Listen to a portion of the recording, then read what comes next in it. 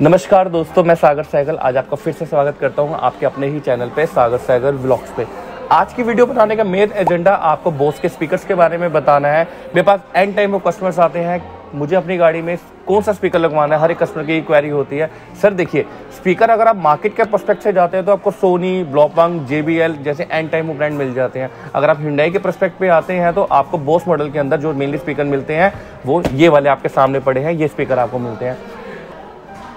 अगर मैं आपसे बात करता हूँ कि बेस मॉडल के स्टूडियोज के अंदर आपने बोस के स्पीकर लगा रहे हैं तो पहले मैं आपको बताता हूँ कि गाड़ी में टॉप मॉडल के सेगमेंट के अंदर बोस के कितने स्पीकर आते हैं।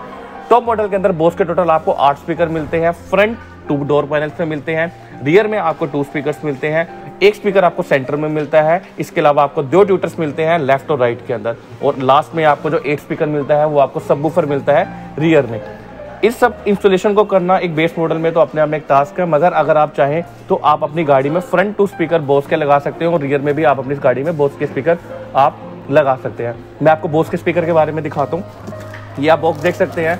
बॉक्स के ऊपर आप देखेंगे तो प्राइसिंग भी मैंने इसके अंदर आपको मेंशन कर रखा टू टू नाइन नाइन का आपको रियर का बोस का स्पीकर मिलता है। और फोर थाउज़ेंड के करीब आपको जो स्पीकर मिलता है फ्रंट का बोस का आपको मिलता है। पार्ट नंबर के साथ मैंने आपको डिटेल्स दिखा दी है। मैक्सिमम कस्टमर्स की ये कंसर्न होता है वीडियो के अंदर कि, सर, आप पार्ट नंबर नहीं दिखाते। मैंने आपको पार्ट नंबर भी आपके सामने रिप्रेजेंट कर दिया है।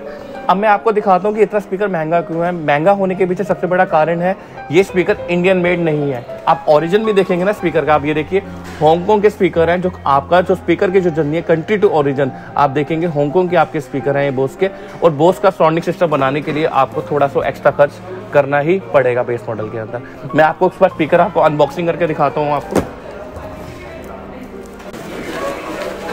ये देखिए। ये आपका फ्रंट का स्पीकर है सिक्स इंचेस का बोस का आपको जो मिलता है, इसकी प्राइसिंग फोर थाउज़ेंड है। मैं आपको इसका पार्ट नंबर और डिटेल्स भी दिखाता हूँ, आप ये देख सकते हैं। ये आपका इसका पार्ट नंबर और डिटेल्स आपको मिल जाती है।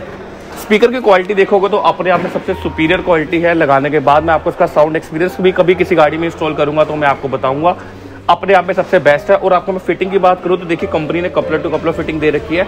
आपकी गाड़ी का कपलर निकल के सिर्फ़ इस पर इंस्टॉल होगा और आपका बोस का फ्रंट का स्पीकर लग जाएगा। अब आपके मन में क्वेश्चन होगा फ्रंट का स्पीकर तो 4000 का है बट रियर का स्पीकर आपका 2299 का क्यों है? इसके पीछे कारण है।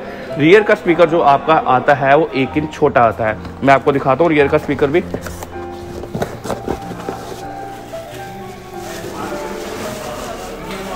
आप ये रियर का स्पीकर देख रहे हैं आप?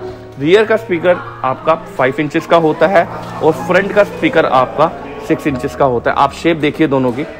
और इसके अलावा अब मैं आपको इसका बैकग्राउंड दिखाता हूँ। आप बैकग्राउंड देखिए, ये देखिए। दोनों बोस के स्पीकर है आपके सामने। आप देख सकते हैं, दोनों आपके सामने बोस के स्पीकर विद प्राइसिंग के साथ मैंने आपको दिखा रखा है। और एक बेजिंग कंपनी ने यहाँ पे भी आपको दे रखी है बोस की, आप ये देखिए। इस स्पीकर में भी आपको यहाँ एक छोटी सी बेजिंग मिल जाएगी आपको बोस की, ये देखिए। यहाँ पे भी आपको बोस की आपको बेजिंग मिल जाएगी।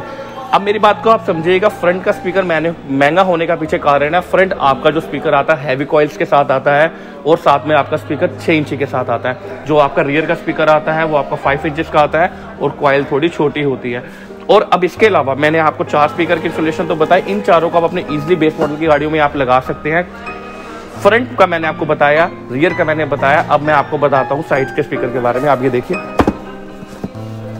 साइड के स्पीकर की बात करूँ तो उसके प्राइसिंग आपके थ्री फिफ्टी टू रुपीज़ के आपके स्पीकर हैं, जिसको हम ट्विटर बॉक्सेस भी कहते हैं। प्राइसिंग मैंने आपको दिखा दी डिटेल भी दिखा दी। अब मैं आपको बता, दिखाता हूँ आपको ट्विटर के स्पीकर्स ये आपके ट्यूटर्स हैं और यह आपका रियर का स्पीकर है, ये देखिए। कनेक्टिविटी भी इसकी कपलर टू कपलर है। आप इजिली कपलर टू कपलर इसको अपनी गाड़ी में इंस्टॉल कर सकते हैं। अब देखिए, अब आपका साउंड सिस्टम इजिली बन गया। फ्रंट आपका बोस आ गया आपका। आपके ट्यूटर के जो बॉक्सेस हैं, ये वाले, ये भी आपके बोस के आगे। रियर में आपको जो स्पीकर मिलता है बोस का आ गया। सेंट्रल के स्पीकर आप लगा नहीं सकते गाड़ी में, क्योंकि स्पेंटर के अंदर, आपको बेस मॉडल के अंदर जालियों जैसा डिज़ाइन नहीं मिलता। सब बूफर बोस का लगाना अपने आप में एक टास्क है। साढ़े ग्यारह हज़ार रुपए तक आपको सब बूफर मिल जाता है। मगर इसको इंस्टॉल करवाने के लिए आपको बोस का एम भी लगाना पड़ेगा, जो टॉप मॉडल में आता है। एम की प्राइसिंग की मैं बात करता हूँ, लगभग लगभग तीस हज़ार के करीब आपकी एम की प्राइसिंग है। अब आपको डिसीज़न लेना है कि आपको कंपनी के रूट से मेटेरियल लगवाना है या आपको आउटर मार्केट की तरफ़ भी जाना है। स्पीकर की क्वालिटीज को लेकर सर देखिए स्पीकर की क्वालिटी आपकी वॉइस टू वॉइस डिपेंड करती है। आप किस सेगमेंट का स्टीरियो अपनी गाड़ी में किस सेगमेंट का स्पीकर लगाना चाहते हैं, वो आपकी चॉइस पे डिपेंड करता है। अगर मैं इस पूरे कॉम्बिनेशन को जोड़ के चलता हूँ, अगर आप बोस के कॉम्बिनेशन को लेकर चलते हैं तो मेनली तेरह से चौदह हज़ार रुपए के अंदर आप पूरा इंस्टॉल करवा सकते हैं। फ्रंट के स्पीकर फोर थाउज़ेंड के मैंने आपको बताए थे रियर के स्पीकर मैंने आपको ट्वेंटी थ्री हंड्रेड के समवेयर आपको बताए थे, और थ्री फिफ्टी रुपीज़ के करीब मैंने आपको ट्विटर बॉक्स आपको बताए थे। चार प्लस चार आठ twenty three plus twenty three forty six आठ हज़ार और छब्बीस सौ रुपए को मैं जोड़ता हूँ तो दस हज़ार छह सौ बनता है और साढ़े तीन सौ रुपए की अगर मैं स्वेटर को जोड़ता हूँ तो आपकी पूरी किट बारह हज़ार रुपए की पड़ जाती है।